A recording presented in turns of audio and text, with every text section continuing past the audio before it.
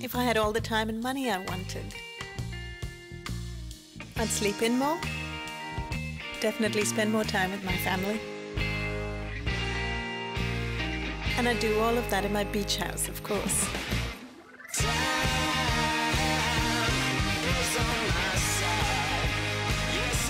Don't just dream about doing those things you'd love to do. Grab a ticket in the $30 million Saturday Lotto Super Draw and give luck a chance.